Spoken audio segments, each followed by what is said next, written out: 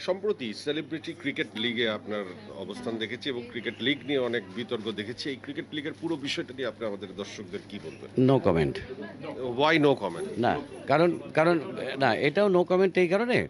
আসলে celebrity cricket league আমাদের যারা ছিল অর্গানাইজাররা আমাদেরকে বল- বলেছিল যে সেলিব্রিটিরাই খেলবে। তো আমাদেরকে আটজন ক্যাপ্টেন ঠিক করেছে। এই পর্যন্ত আমি জানি। তারপরে যা যা হলো সেগুলো বাংলাদেশের দর্শক টেলিভিশন দর্শক সবাই জানে সুতরাং এই বিষয়ে কোনো কমেন্ট লাভলু ভাই আপনি অনেক সেলিব্রিটি তৈরি করেছেন। তো সেলিব্রিটির সঙ্গে আসলে কি? আমি তোমার প্রোগ্রামে তুমি যে প্রোগ্রামটা করো সেই প্রোগ্রামে আসতে চাই না। কারণ তুমি এত ক্রিটিক্যাল কোশ্চেন করো যেটার উত্তর দেওয়া খুব মুশকিল হ্যাঁ?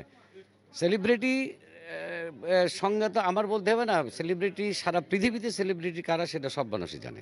দর্শক জানে দর্শক যাকে চেনে যাকে অনার করে যাকে দেখলেই এক নিমিষেই সম্মানের একটা জায়গায় ভাবে স্মরণ করে তারাই সেলিব্রিটি ভাই আমি আপনার সাথে একমত। সেলিব্রিটি লিগের একটি দলের আপনি হচ্ছেন ক্যাপ্টেন তো আপনি যখন আপনার দলকে দেখলেন সেখানে সেলিব্রিটি লিগ খেলা হচ্ছে কিন্তু সেলিব্রিটি নাই দুই চারজন সেলিব্রিটি তখন আপনি কেন প্রতিবাদ করলেন? আমি এই বিষয়ে সিসিএল নিয়ে কোনো কমেন্টস করতে রাজি না।